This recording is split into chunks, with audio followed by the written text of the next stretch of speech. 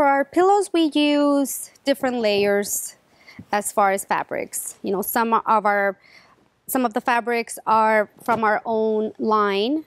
Others are used from vintage Indian blankets, like this one.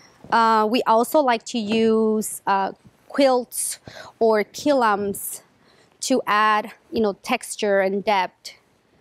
Um, we also invite uh, local artists to participate with us and be able to show some of our pillows that are like a piece of art. You know, they're more special and each become a one of a kind.